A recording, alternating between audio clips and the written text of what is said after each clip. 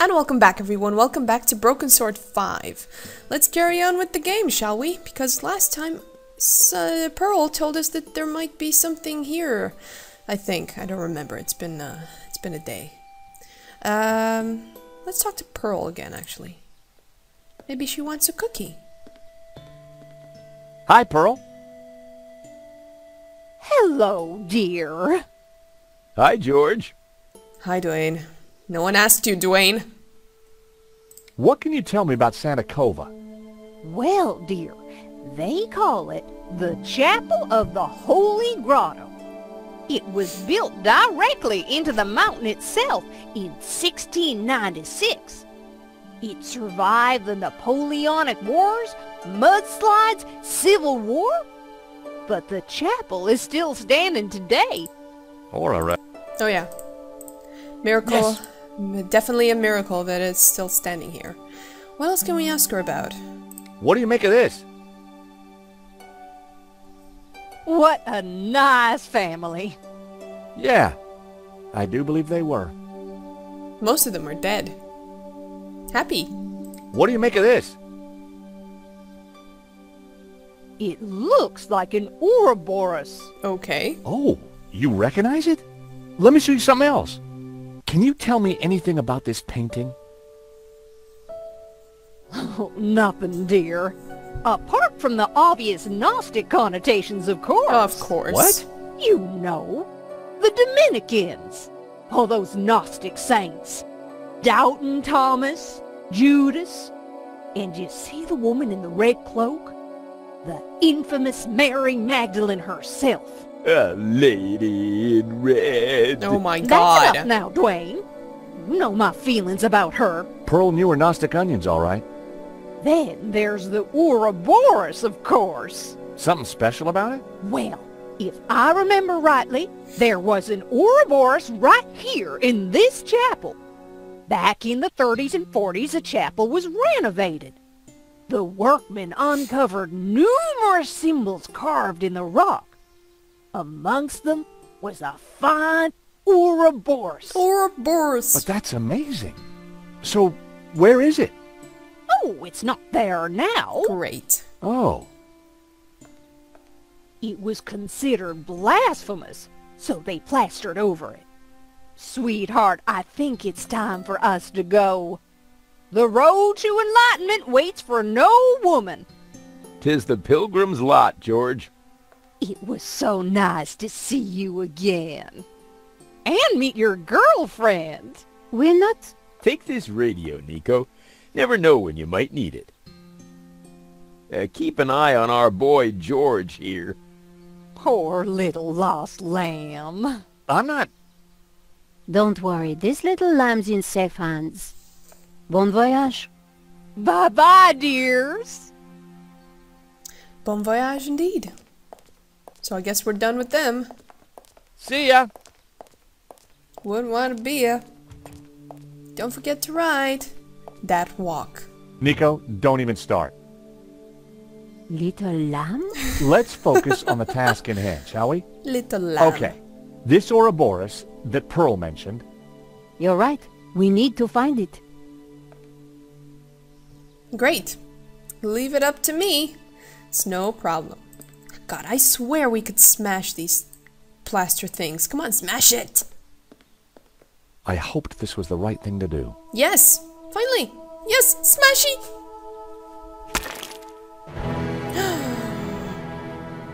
Hey, Nico, I found the Ouroboros. Success. That was easy. I knew it. Good job, George. Good job, little lamb. Pearl was right. The plaster had covered an Ouroboros. How lucky that we struck in exactly the right spot. I pushed the Ouroboros, but nothing happened. All right. Great. What else is in this room? Actually, I want to go to the place uh, that Pearl was blocking. Maybe we can pick up something from there. Like a mop. Or some candles. Yeah, just pick one. There's loads of candles. Mmm, delicious. Now, maybe we can put the candle in the Ouroboros, Bo- Bo- Ouroboros thing? Or Boris. Oh, Boris. Candle. Do it. That wouldn't work. Damn it. Maybe we can use it in the recess. Maybe not. Maybe on the Madonna? Nope. I needed to try something else. Hmm. Are you sure? Oh, there we go. I am just misclicked. Now what? I placed a candle in the recess above which Puritas had been carved. Well, it looks pretty pure now. Will it work now as a button? I pulled the Ouroboros, but it wouldn't budge. Crap. Maybe we can use our medallion thing. The medallion matched the Ouroboros in the wall. No shit. I'd placed a candle into the recess. Oh, it's not lit, probably. Do it. Yes, we got music! What was that noise? What? Wow, you sure went crazy on those matches, George. Did you use like 20 of them to light that candle? Whoa! I knew it. Another secret passageway. Amazing, Charles. How did you do it? Just another case of the old Stobbart magic, I guess, Nico. It, uh... It looks a little dark in there. No, no. Are you scared, Charles? Little lamb. Of course not. Just worried about you tripping. That's all. Don't worry about us. One short and very dark climb later. Whoa, this is one dark cave. Whoa! It's not that dark.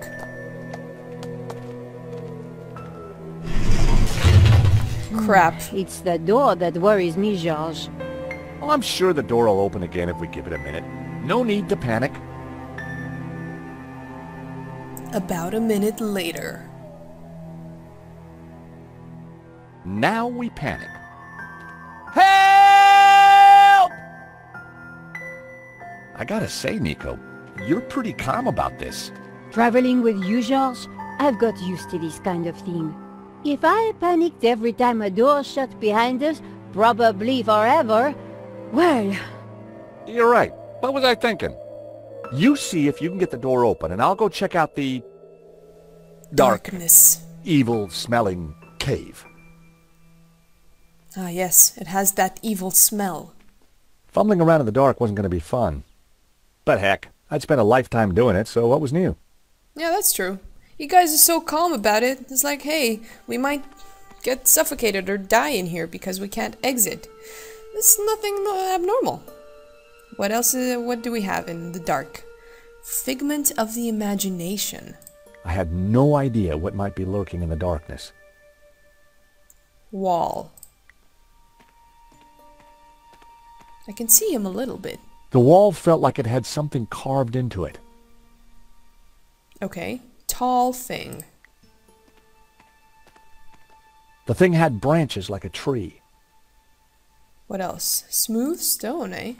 Touch it. It felt cold and smooth, like worn stone. Cold and smooth. Big thing. Hey. It was cold to the touch and felt like carved rock. So we're basically feeling the wall. Big thing, unidentified thing. It was a small round object made of fabric with a musty smell. Squidgy hole. Squidgy hole. Stony thing. Hard thing. Oh my god, it's getting intense. It felt cold and smooth, with some indentations along the surface. Oh, this is bottomless pit. Oh, holy shit. we got everything in For here. a moment, I imagined falling forever in the dark. But it was just my imagination running wild. The floor was solid. So there is no bottomless pit. Yep, it's gone. so let's explore the squidgy hole. I could feel something smooth and spherical with clumps of what felt like fur or hair. This is an interesting room. We have an identified big, big things and hard things and holes that are squidgy and fuzzy round things. This must be a medieval Sex toy room. Probably. Hmm. It was a small stuffed animal of some kind. My god. Short-haired. I guessed it was a tailless squirrel. Or perhaps a small badger? They were disgusting in the Middle Ages. Imaginary malicious denizen. It was just my mind playing tricks in the dark. Yep, stop playing tricks, mind. Stone object. It was stone, with a recess in it and... Ugh. An oily liquid in it. There was some kind of thin twine in the middle of it, too. Huh, it sounds like an oil candle thing. Maybe we can light it up with our one remaining match. No pressure, by the way.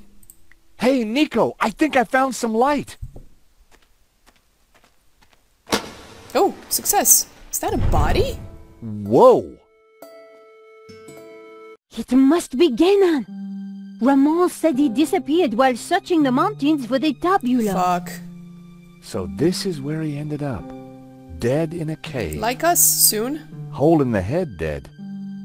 Decomposing for decades dead. And on closer inspection, I'd even say blown your own brains out dead. Okay, George, I get the point. What is this place? Who knows? But look at the Gnostic symbols. You're right. The colors, the trees. But who is she? It looks like the Virgin Mary, but I don't think it is. What do you mean? The red robes and that whole off-the-shoulder look? It must be Mary Magdalene, of course. Marquez told me that the Gnostics revered her. This place, it's some kind of Gnostic shrine. There's got to be something to release that door. Maybe amongst these carvings. But if it was that obvious, don't you think Ganon would have found it? Yeah, so we're facing quite the problem here, but nothing out of the norm. Although, this uh, Ganon dude, probably the original one, um, yeah, he kind of died here. He killed himself, probably. And, uh, yeah, grim aspect of our future, isn't it, Nico? That's okay. We'll get out of here somehow. Getting up close and personal to Ganon's leathery corpse wasn't pleasant, but we had to figure out how to get out of there. Ganon had certainly been busy before he blew his brains out. I wonder what he'd been up to. Besides blowing his brains out? Not much. Probably doing some reading while stuck in this cave. Nico, What? Nico! is this what I think it is? Do-do-do, must do-do-do-do-do-do-do. Tabula Veritatis. Oh my god. So Genan did find it. It's so small, so innocent looking. Why would Simeon call it evil? Why so many deaths for this? And why go to such lengths to keep it hidden? Unless it is as genuinely dangerous as Simeon claimed. The question now is, what do we do with it? The truth to the grave, eh? So he did find the tabula, and it's a lot smaller and more innocent looking than I thought. I guess that finding the tabula was the easy part. Figuring out its purpose was a different proposition. Definitely. Look at those symbols. A row of symbols were etched onto the top bar of the tabula. Okay. Oh, there's a serpent eating the other serpent, I think? Maybe. The tabula was engraved with a number of curious-looking symbols. I don't know, just because it's like red marble or something, maybe it makes it evil to the Catholics. What else did he find? It was an old water canteen. The contents had long since been drunk. Yeah. It was an old flashlight. It looked like it died around the same time as Ganon. Ex luce veritas. Out of light, truth. I'd seen the same words on the fresco at Castel de Sants. The photograph was of an ancient clay tablet. Ganon had written on it. Someone, presumably Ganon, had taken the time to translate the inscription. At a glance, the inscription seemed to relate to the exploits of someone called the Sun King. The symbol on the tablets looked similar to the ones etched into the face of the Tabula Veritatis. The Tabula Veritatis, yes. If Ganon's translation is correct, the symbol Ka Ip Ha means burning enemy cities. Whoever this Sun King guy was, he certainly had a point to prove. Yeah, seems like a nice fellow. So we're probably gonna have to decipher what it says on the tabula. Nice Ganon. Doing all the work for us. It had to be Ganon. In which case, the body had been there for decades. There was a bullet hole in the side of his head. Just like us, he'd been trapped. He'd chosen suicide. To be fair, he ha he wouldn't have lived until this time anyway. So he just didn't want to stay here and uh, starve to death or something. Can I have your map, please, Ganon? Sorry. I prized the map out from under the arm of the corpse. It looked like Ganon had scrawled some kind of last testament onto this map. My friends, I know that you will eventually find me, but by then it will be too late. I have decoded the tabula, and I know our destiny lies in paradise. The key to the power of God is in our hands. I die secure in the knowledge that you will now be able to complete my work. Tell my family that I died doing my duty, that I surrender my life gladly to the cause. In the light of the day, these words will fade, like our souls. But rest assured that when they do, their echoes will guide us to where we will meet once again. I'm not sure, but it looks like crafty old Ganon left a secret message in his testament. He did, didn't he? Some letters are uh, are bold. Uh, I don't know. I read Ganon. My friend. I uh, I- no. the- Just read this. For fuck's sake. But rest. But look at this. Wolfram mining. That rings a bell. I picked up the old gun. It was too corroded and rusty to ever be fired again. Damn it, we never get working guns in these games, do we? It was a fedora, just like the one in Ganon's trunk back at the Castell. The years hadn't been kind to it. Yeah, we can't pull off a, an Indiana Jones right here because this looks horrible.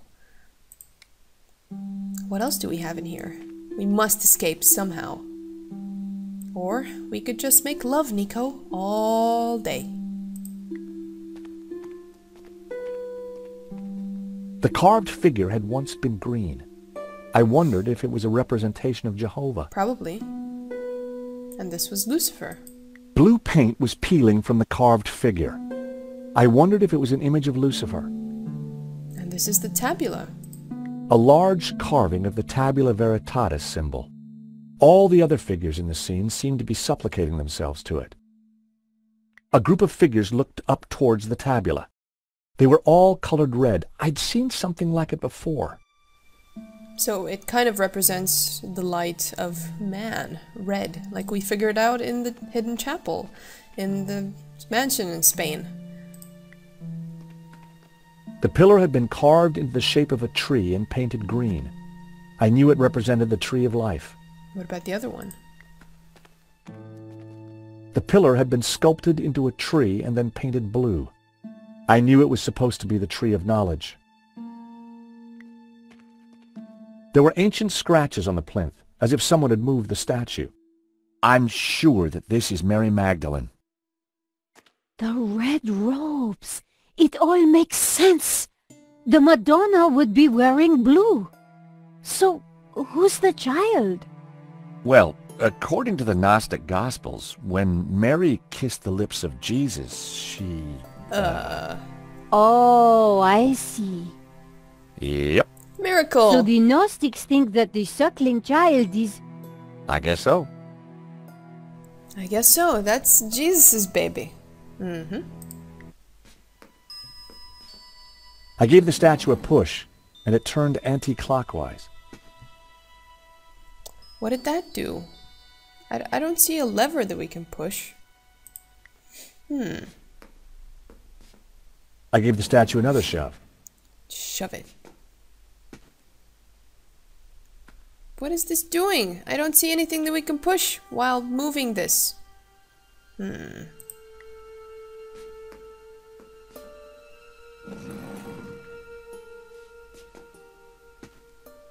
Again?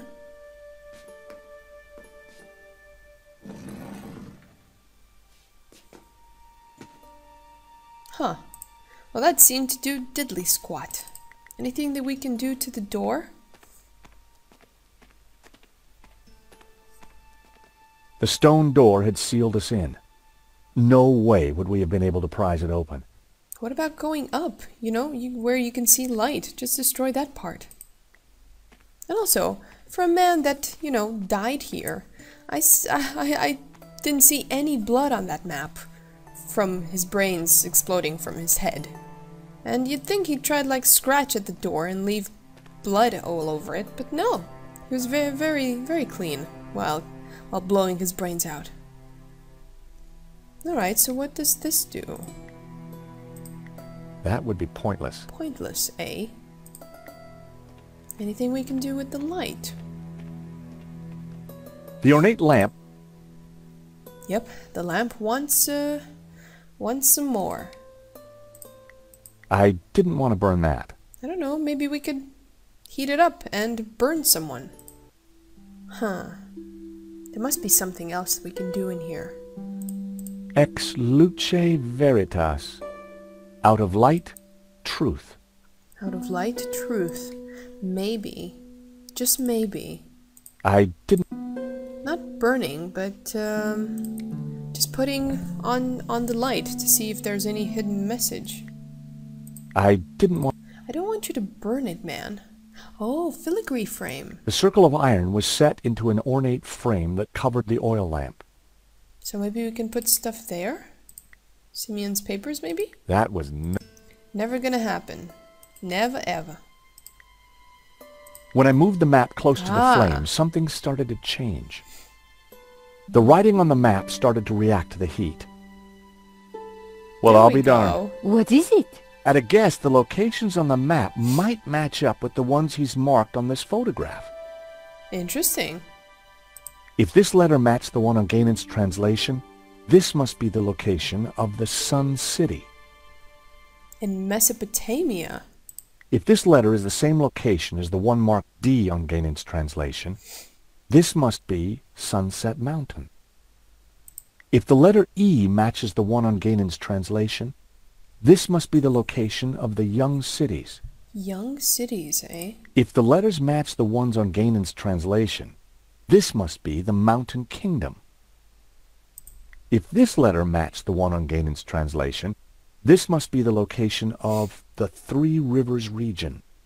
Yep, I see three rivers. It's pretty accurate. So, uh, we have where where this Ganon's photograph. No, I want to combine it. That was n- How do I combine things? I want to combine the photo with the map. It's not letting me though. I was sure there were no more secrets to reveal. How do you know that?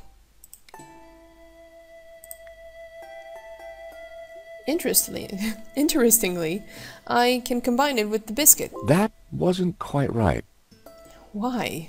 But I can also combine it with the tabula veritatis. I wondered if Gainan's notes on the photograph might help me decode the tabula. Ah, crap. I hate these kind of puzzles. The glyphs on the tabula veritatis are displayed across the screen. Select a glyph, then choose what you believe to be the correct translation from the words on the right-hand side. 36 words to choose from.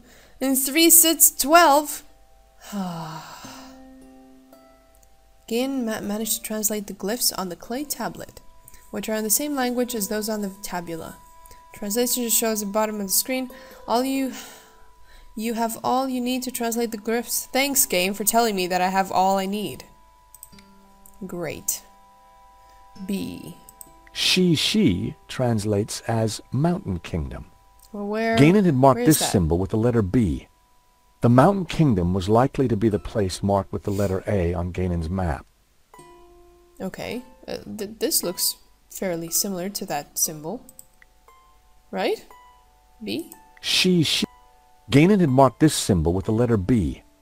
The Mountain Kingdom was likely to be the place marked with the letter A on Ganon's map. Uh. If Ganon's tra- Gainan had marked this symbol in red with the letter A. I wondered if this Sun City place is the area marked B on Gainan's map. I don't get it. Begin. West. I don't know. Oh my god, there's so many. If Ganon's translation is correct, the symbol La Ha Shi rep Ganon had marked Mountain wondered if this- Kingdom. Mountain. Do I have a mountain? Mountain Kingdom. There we go. I think. Maybe. I don't know. I think I'll leave it for the for next episode, guys, because this is gonna take me a little while to decipher, and I don't want you to. I don't want you to watch me do this for like 20 minutes. I'll see you in the next episode, and thank you so much for watching.